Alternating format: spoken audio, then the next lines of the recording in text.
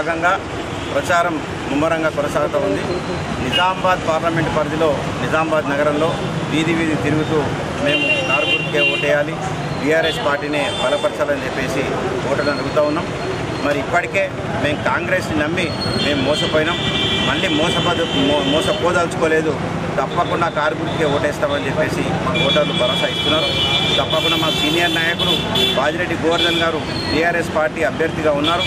కేసీఆర్ గారు ఆశీర్వాదం ఇచ్చి వారిని ఎన్నికల్లో నిలబడమని చెప్పి పంపిస్తే ప్రజలందరూ స్వచ్ఛందంగా ముందుకు వచ్చేసి కారు గుర్తు కోటేస్తామని చెప్తున్నారు. మరి మళ్ళీ మేము ఇంటికి వచ్చినా రాకపోయినా మీరు టీవీలలో చూస్తున్నారు వార్తలలో చూస్తున్నారు. కాంగ్రెస్ పార్టీ ఇచ్చినటువంటి ఏ ఒక్క హామీ కూడా నెరవేర్చలేదు.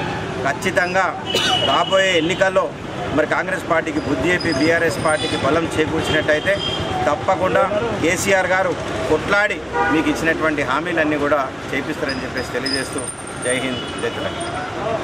రోజు నలభై నాలుగవ డివిజన్ కొచ్చమ్మ గల్లీ మరియు ముద్రాజ్ గల్లీ మరియు అంగడి బజార్ ప్రాంతాల్లో పార్లమెంటరీ అభ్యర్థి అయినటువంటి మాజిరెడ్డి గోవర్ధన్ గెలుపు కోసము మాజీ నిజామాబాద్ అర్బన్ శాసనసభ్యులైనటువంటి బీగాల గణేష్ అన్న గారు వచ్చి ఇంటింటికి ప్రచారం చేయడం జరిగింది.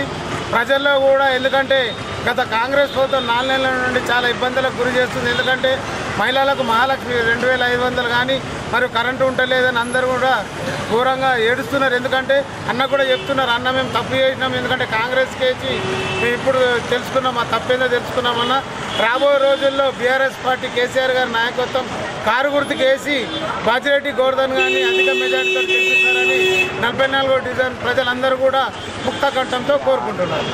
జై తెలంగాణ.